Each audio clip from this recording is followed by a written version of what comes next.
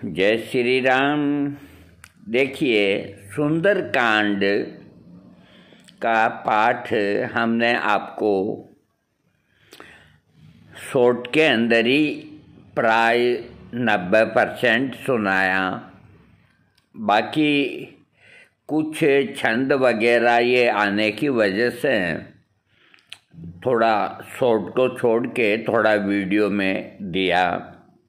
प्रभु राम का ये जो रामचरित मानस में सुंदर कांड है तो इसका पाठ करने से आदमी बलशाली बनता है और जहाँ सुंदर कांड की आवाज़ गूंजती है, वहाँ कहीं दूर दूर तक कोई गलत काम नहीं होता। कोई जादू टोना, कोई कुछ नहीं होता। एक इसका जो घेरा बनता है, सुरक्षित घेरा। सुंदर कांड के पाठ का। वो पाठ कराने वाले का, पाठ करने वाले का, पाठ को सुनने वालों का। जो भी कुटुंब कबीला है, उनकी रक्षा कवच का काम करता है सुंदर कांड। इसलिए हर घर के अंदर महीने में एक आध दफ़े सुंदर कांड का पाठ आप लोग करें तो मुझे अति हर्ष होगा। दूसरी बात मैं ये कहना चाहता हूँ कि मैंने बहुत मेहनत तो मेरी बहुत हुई है। फिर भी जो रात और दिन रामायण के अंदर लीन रहते हैं, जैसे संत शिरोमणि राम भद्राचार्य और इस तरह कई ऐसे आपको मिलेंगे जिनको कंठस्थ, ये तो क्या सुंदरकांड पूरी रामायण तक उनको कंठस्थ याद है। हम देखो, एक डॉक्टर और इस तरह से हमारा इतना अभ्यास नहीं है तो हमें ये अच्छी तरह से मालूम है कि कहीं न कहीं हमसे छोटी मोटी त्रुटि हुई है। इसमें कोई दो राय नहीं। हालाँकि हमने हाथों हाथ पकड़ के सुधारी, फिर भी गलती रह जाती है। तो आप हमें क्षमा कीजिएगा। कोई इस तरह का कमेंट्स न करें। हम खुद कबूल करते हैं कि हमसे कहीं ना कहीं गलती ज़रूर हुई है, क्योंकि सुंदरकांड अपने आप में एक विशेषता लिए हुए है। इसको छोड़ते हुए हमारा जी बहुत दुख पा रहा है।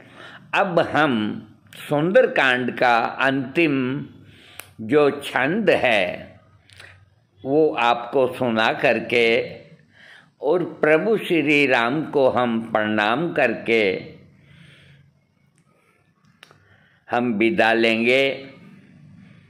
हम और भी आगे आपको सुनाते रहेंगे, जब तक श्री राम की कृपा हमारे ऊपर रहेगी। श्री बजरंग बली की कृपा हमारे ऊपर रहेगी।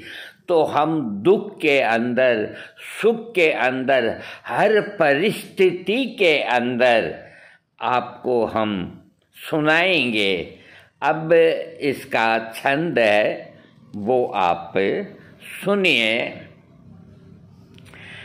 निज भवन गवन सिंधु श्री रघुपति। ये है मत भाई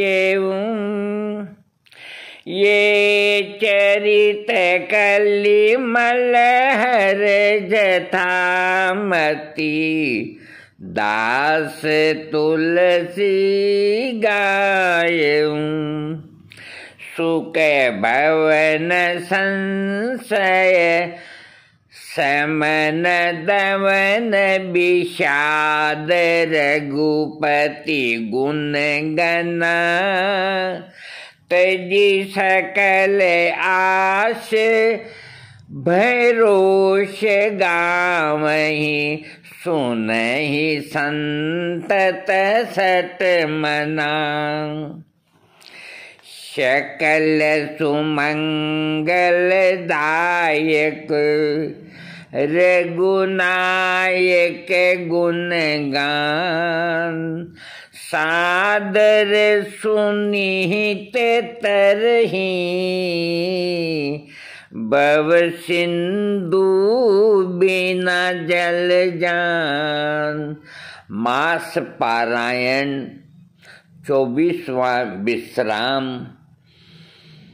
हमने आपको जैसा ये बुक्स का भी सहारा लिया क्योंकि इसमें अक्सर महीन ज़्यादा होते हैं और किताब में मोटे होते हैं।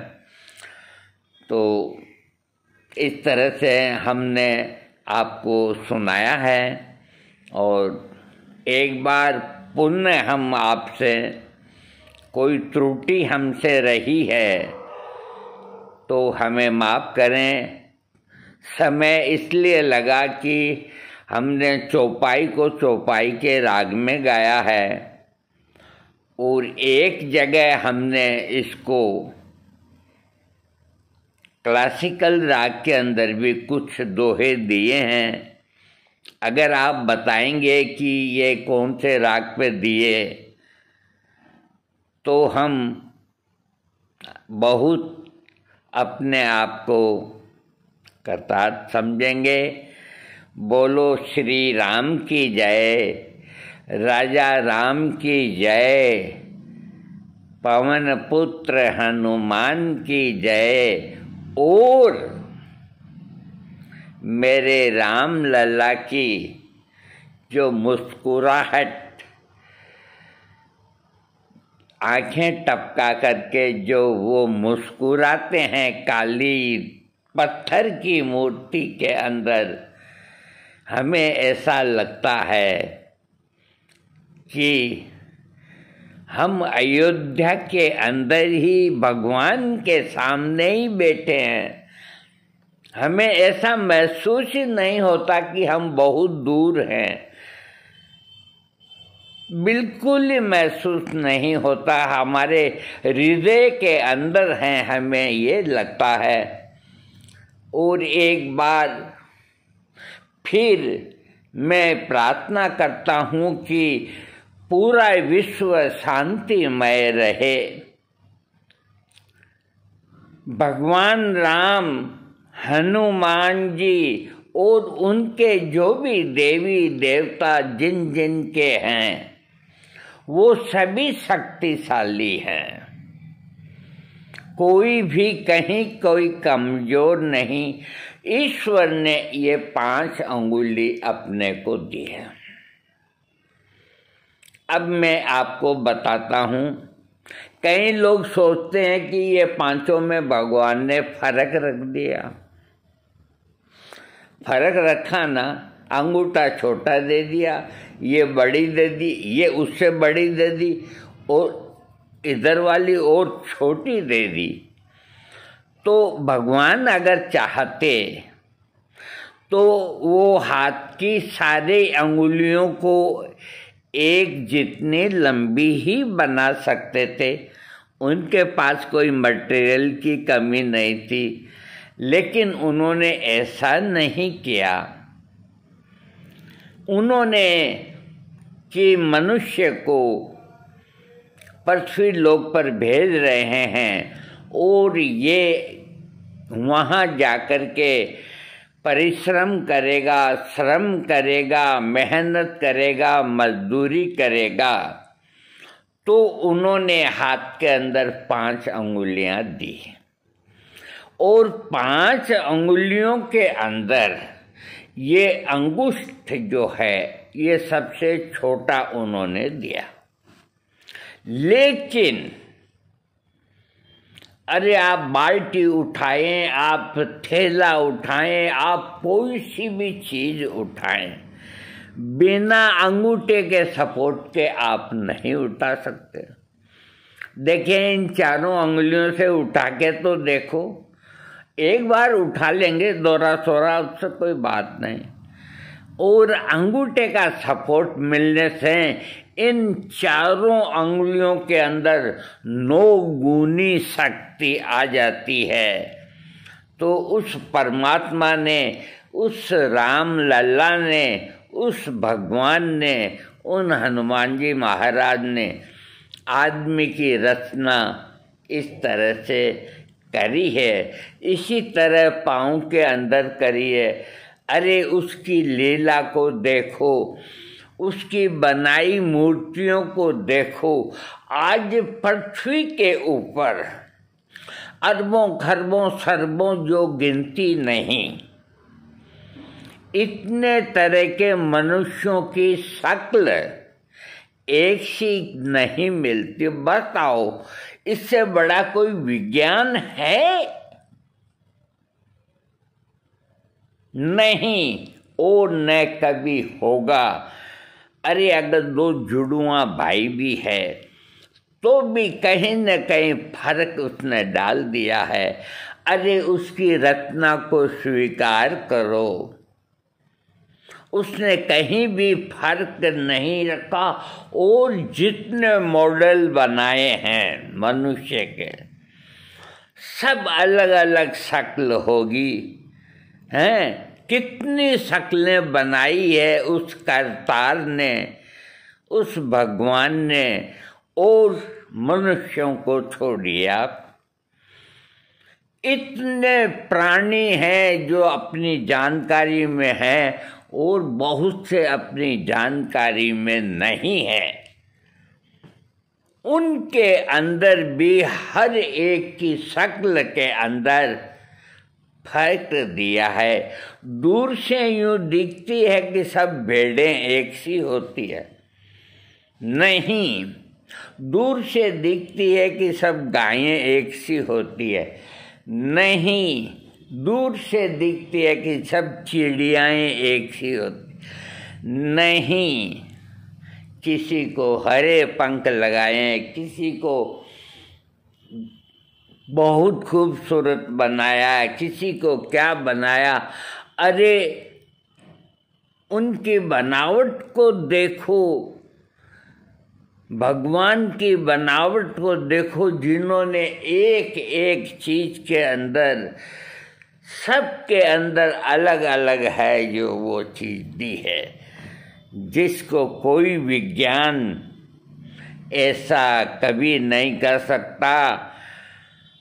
अगर ऐसा कर सकता था विज्ञान तो लाखों करोड़ों वर्ष पहले ही कर लेता। ऐसा नहीं कर सकता। अरे, एक चूहे के पाँच छह बच्चे होते हैं। बड़े होने के बाद में उनके सबके चेहरे अलग अलग होते हैं। थोड़ा सा भी फ़र्क डाल। तो बताओ उस रचनाकार ने कैसे की इतनी बड़ी रचना? कभी सोचो अपने दिल के अंदर कि वो कितनी बड़ी शक्ति है जिसने हर एक चीज़ के अंदर फ़र्क रखा है।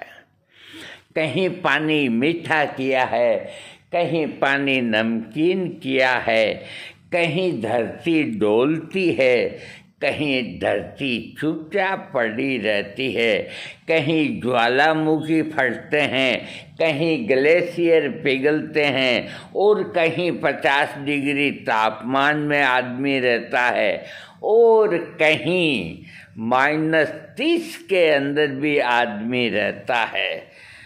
उसकी बनाई हुई चीज़ों पे कभी गौर करके देखो चक्कर आने लग जाएँगे, चक्कर आने लग जाएँगे। बोलो श्री हनुमान जी महाराज की जय।